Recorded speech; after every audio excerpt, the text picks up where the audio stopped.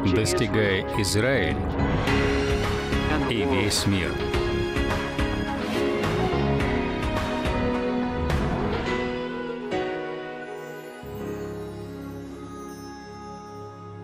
Возлюбленные, мы получаем свидетельство о том, как Бог прикасается и меняет жизни людей через наше служение.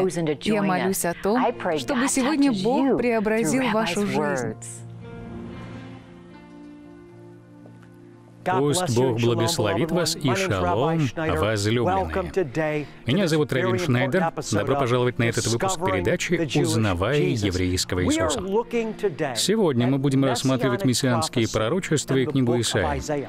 Это третья часть нашего цикла. Я советую вам посмотреть первые два выпуска, если вы их не видели. Очень важно, чтобы вы понимали, что наша вера в Иисуса основывается на Ветхом Завете, который в иудаизме называется Танахом.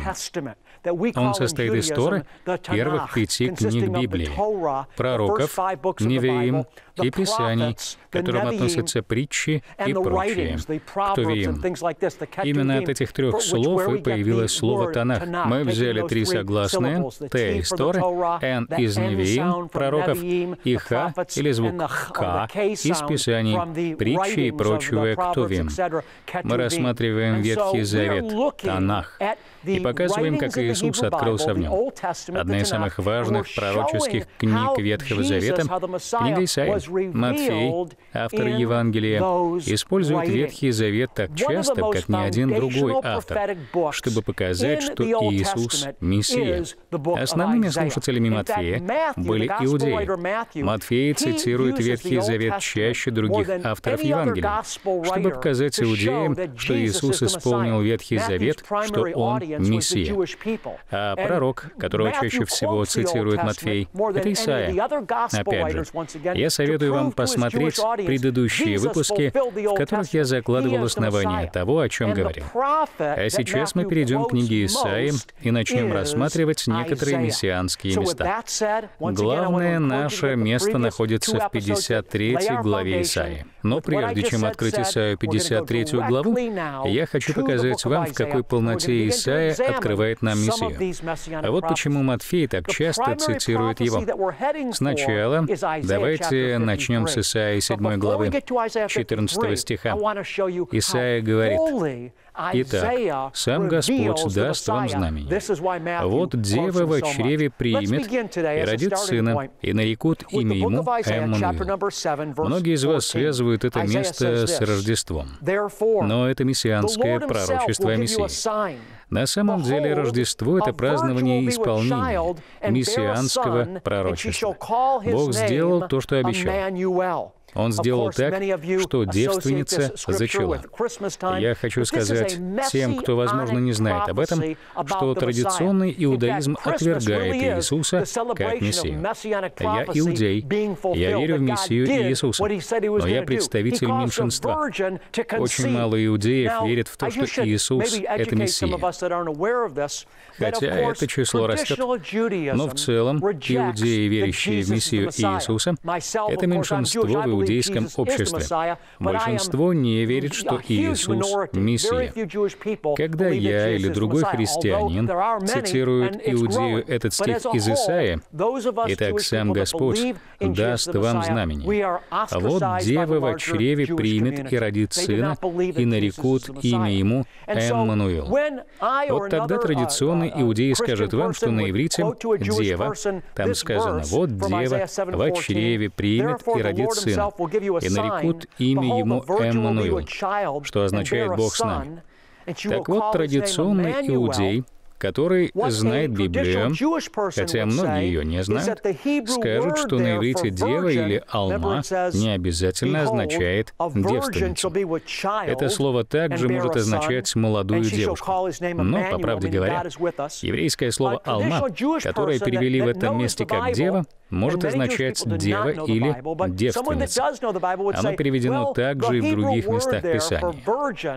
Этот стих не имел бы смысла, если бы здесь имелось в виду не дева, а молодая девушка. Иными словами, если бы этот стих перевели и так, «Сам Господь даст вам знак». А вот молодая девушка в чреве примет и родит сына. Когда молодая девушка рожает сына, это не знамение. Это не что-то, что привлекает ваше внимание. Знамения привлекают ваше внимание. Если девушка родила сына, это не то, что привлечет ваше внимание. Но если девственница родит сына, это привлечет внимание. А вот почему Исаия называет это знамением. Я говорил о том, что мессианские пророчества не просто предсказывают будущее, но и рассказывают о том, как Иисус исполнил историю Израиля, повторив ее шаблоны. Я говорил в прошлом выпуске, выпуске, что еврейская история начинается с Авраама, что еврейский род переходит от Авраама к Исааку и далее к Иакову. Я хочу, чтобы вы вспомнили рождение Исаака. Бог дал обетование Аврааму. Он сказал, «Авраам, в твоем семени благословятся все народы земли».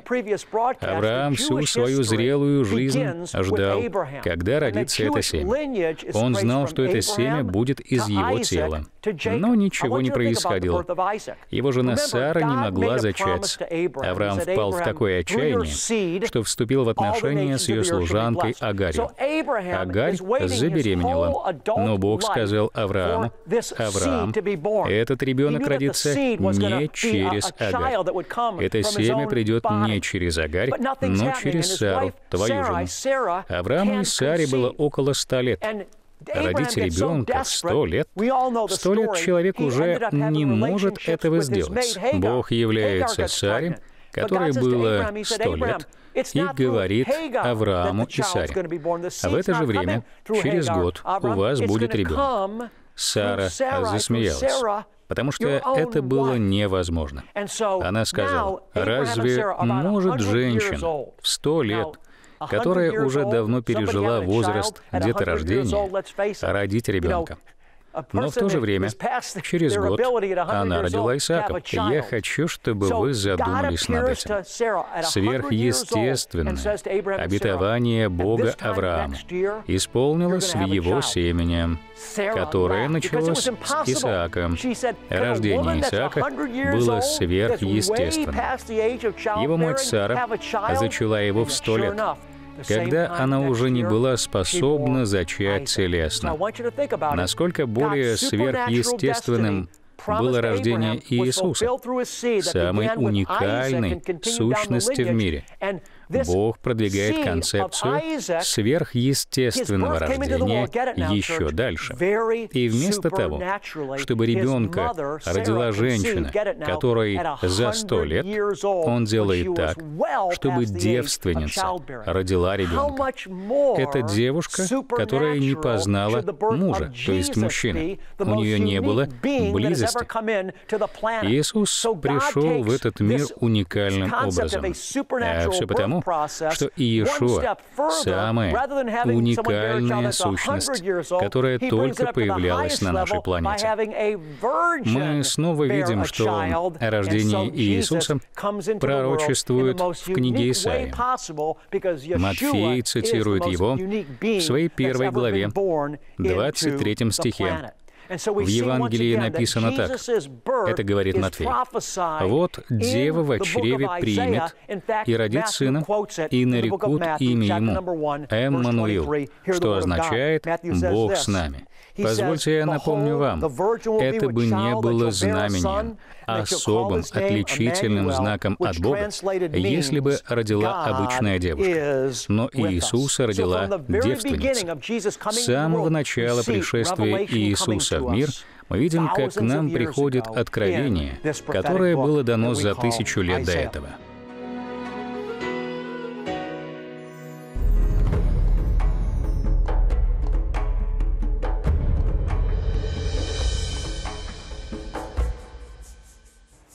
Шалом браха, мир и благословений. Возлюбленные, в сегодняшнем выпуске я хочу поделиться с вами одной из своих любимых еврейских фраз. Она произносится так. «Безрат Хашем». Запомните. «Безрат Хашем». И означает «с Божьей помощью». Если вы помните историю Моисея, когда Господь призвал его, чтобы вывести свой народ из Египта, Моисей сказал Господу, «Если ты не пойдешь со мною, я не пойду». Моисей знал, что если он хочет пойти и быть успешным, то Бог должен быть с ним. Он нуждался в Божьей помощи. Не знаю, как вы, но я думаю, так каждый день. Я понимаю, что если Господь не пойдет со мной, я совершу ошибку и упаду. Вот почему мне нравится фраза «Безрат Хашем» с Божьей помощью. Давайте скажем ее вместе. Я хочу, чтобы вы повторили ее со мною. Б. Эзрат Хашем. Еще раз давайте произнесем ее. Б. Эзрат Хашем. С Божьей помощью. Возлюбленные, каждый день мы с вами полагаемся на помощь Хашема. И с Божьей помощью мы будем плодовиты, будем процветать и влиять на эту землю ради Его славы. Безрат Хашем. Если у вас есть свидетельство о том, как Господь использовал нашу передачу, чтобы изменить вашу жизнь, мы предлагаем вам поделиться им.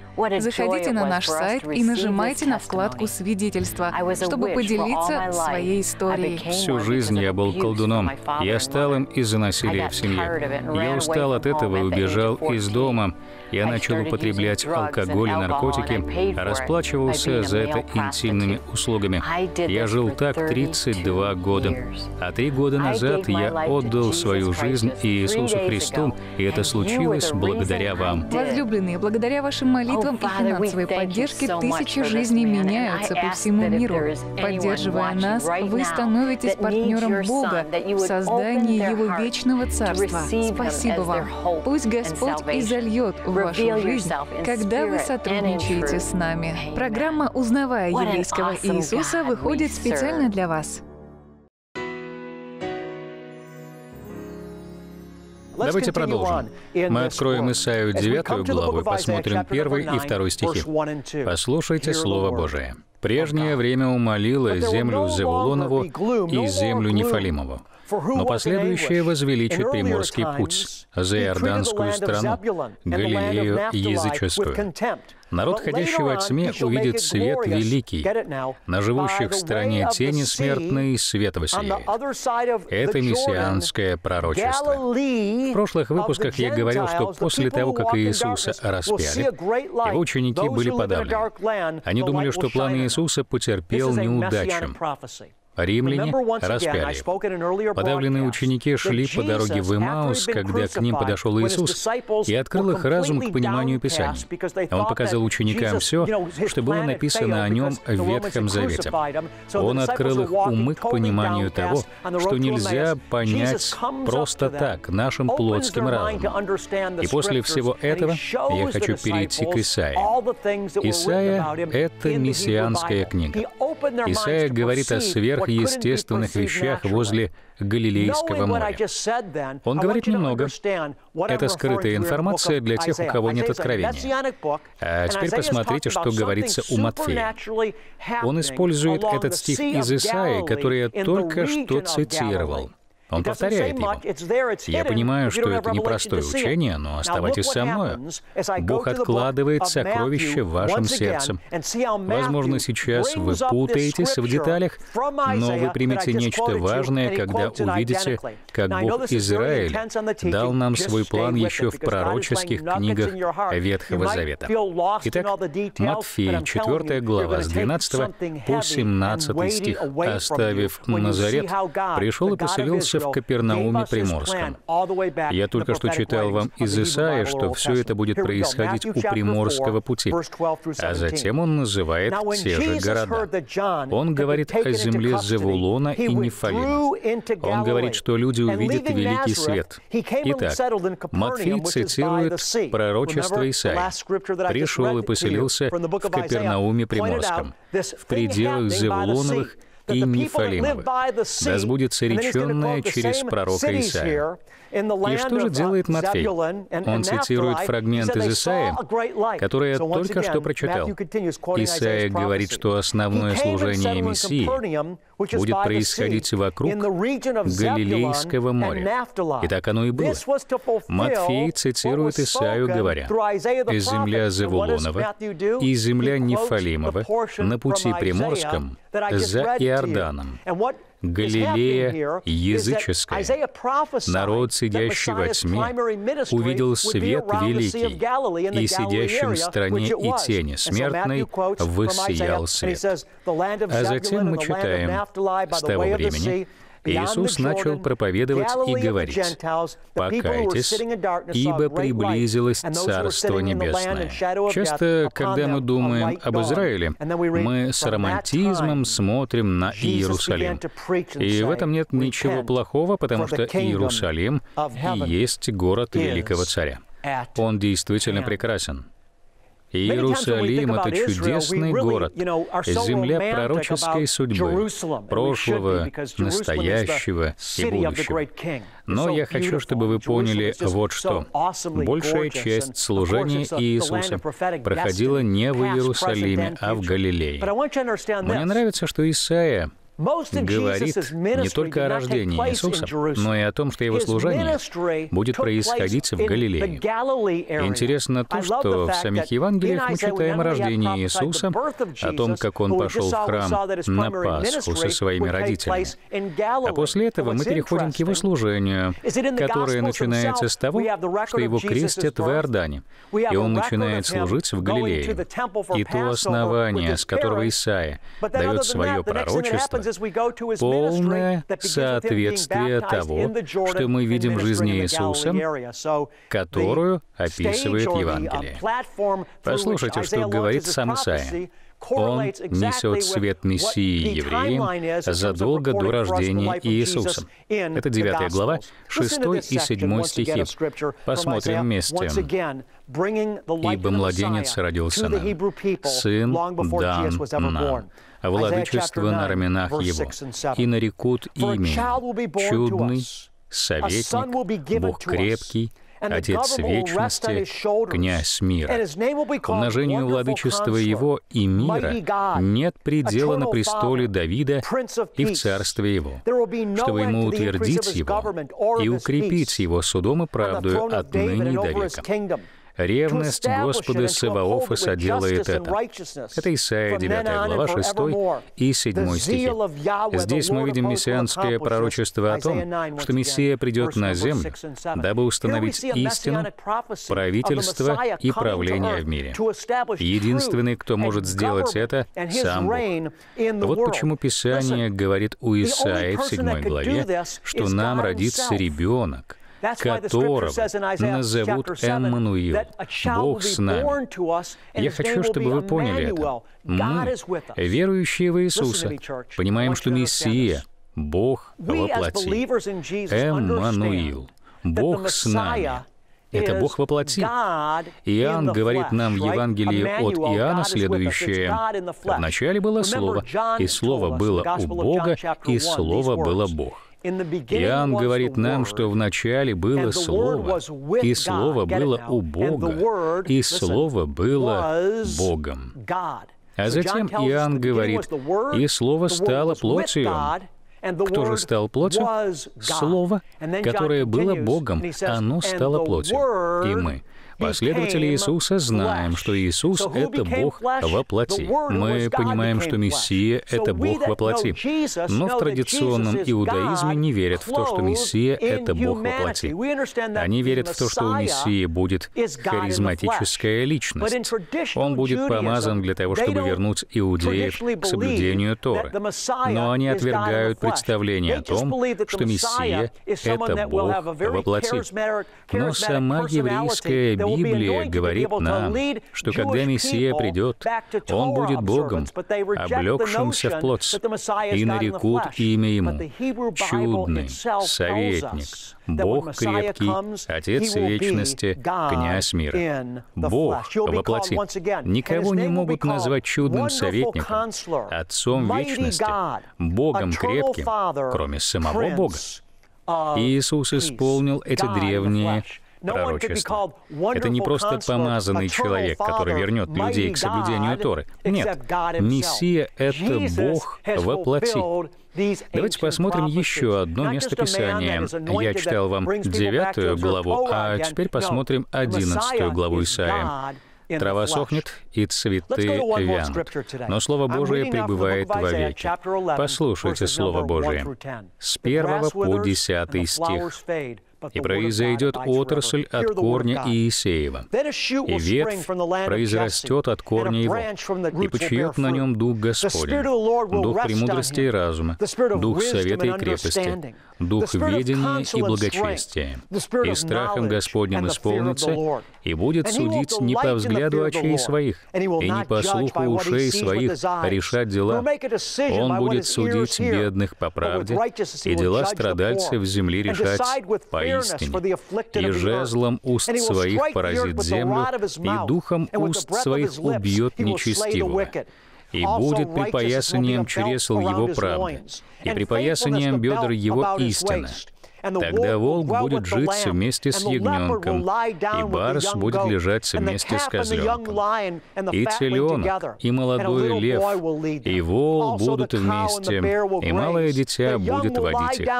И корова будет пастись с медведицей, и детеныши их будут лежать вместе, и лев, как вол, будет есть солому.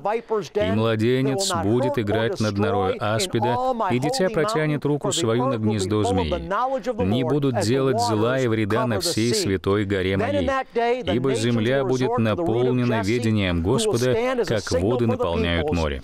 И будет в тот день корню Иисееву, который станет как знамя для народов, обратятся язычники, и покой его будет слава. Безусловно, это мессианский век, в котором Мессия будет управлять землей. Возлюбленные, это принесет процветание, о котором мы читаем в книге Откровения. Книга Исаии уникальна в том, что она показывает нам пришествие, рождение, служение и славу Мессии на земле. Присоединяйтесь ко мне на следующем выпуске. Мы углубимся в книгу Исаии и концепцию мессианских пророчеств. Я покажу вам четыре мессианские песни в книге Исаии. Вы бы не хотели пропустить это. Люблю вас, и пусть Бог благословит вас. В книге чисел Бог повелел Моисею и Аарону говорить эти слова над народом его, и тогда он запечатлеет свое имя на них и благословит их. Yavarecheche Yahweh, Vaishmarecha. Yair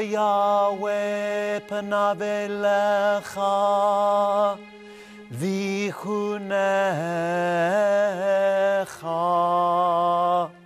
יישא יהוה פניו אליך, ואשם לך. שלום.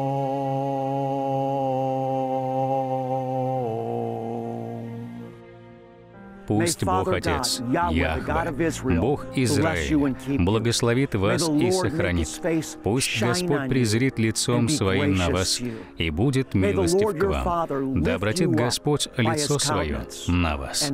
И пусть Бог Отец продолжает непрестанно давать вам Божий мир. Если двое из вас согласятся на земле просить о всяком деле, то чего бы ни попросили, будет им от Отца Моего Небесного. Позвольте нам молиться о вас. Присылайте нам на сайт ваши молитвенные просьбы или пишите на наш почтовый адрес. Наша команда молитвенников молится за каждую нужду в отдельности. Когда вы получите ответ от Бога, или если Бог коснулся вас через наше служение, вышлите нам свое свидетельство. Мы хотим радоваться вместе с вами. Ваше свидетельство вдохновит других. Мы побеждаем кровью Агнца и словом свидетельства своего. Иисус родился иудеем, жил иудеем и умер иудеем. Его первые последователи были иудеи, но все же христианство и иудаизм разделены.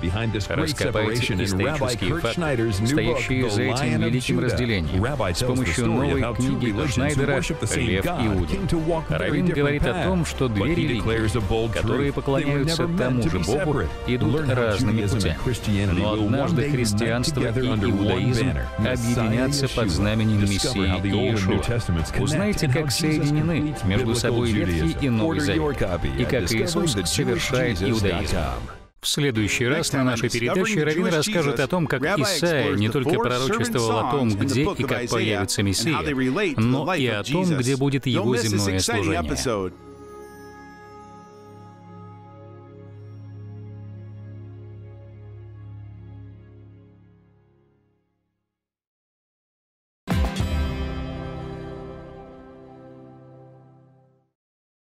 Я понял, что Бог не только всемогущий, но еще и самый смиренный во Вселенной. Его глаза осматривают всю землю, в поисках тех, кто ответит ему взаимностью.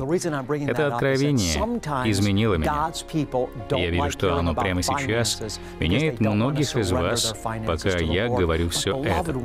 Но как же мы отвечаем Богу взаимностью?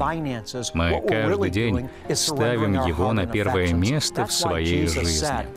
Мы следим за своими мыслями, осознанно фокусируемся на правильных вещах, следим за своими словами и за тем, что мы смотрим по телевизору. Все это важно для Бога, включая также и наши финансы. Вот почему на протяжении всей Библии мы видим, как люди, любящие Бога, почитали Его своими финансами, начиная с Авраама. Если вы верите, что в этом есть Бог, если вы чувствуете, что Дух Божий побуждает вас проявить свою любовь к Богу через пожертвование, то будьте послушны Ему, и вы не пожалеете об этом. Шалом вам! Если вы хотите стать нашим партнером, то отправляйте свои пожертвования по адресу, который вы видите на экране. Для пожертвований кредитной картой позвоните нам по номеру 800 7835 или отправьте СМС. Или же вы можете сделать это на нашем сайте. В знак благодарности мы вышлем вам аудиопроповедь Равина Шнайдера и наш информационный бюллетень. Ваше даяние принесет Божие спасение в Израиль Израиль и весь мир через интернет, телевидение и кроссейвы. Свои смс-сообщения вы можете присылать нам на номер 45337. На Земле многие из нас верны Господу финансам. Если вы желаете почтить Господа своими финансами, отправившись на небеса, зайдите в раздел «Завещание» Вы получаете назидание вере и обновление через проповеди Равина. Если вы получаете благословение через проповеди Равина Шнайдера, мы приглашаем вас стать нашим партнером. Достигая Израиля весь мир, заходите на наш сайт или позвоните нам по телефону на экране, чтобы стать партнером в служении Равина. Снарядить тело Христа, созидать церковь и благовествовать этому миру. Благодаря вашей поддержке служение, узнавая еврейского Иисуса, сможет достичь мест, которые мы не смогли бы достичь без вашего участия. Вместе мы производим перемены и готовим путь на возвращение Царя Иисуса. Телепередача Равина Шнайдера «Узнавая еврейского Иисуса» теперь доступна на русском языке на YouTube. Равин еврейский верующий в Мессию Иисуса. Слушая и применяя принципы этих уроков, вы получите откровение сегодня для вашего лучшего будущего. Посетите YouTube сегодня и подпишитесь на канал «Узнавая еврейского Иисуса».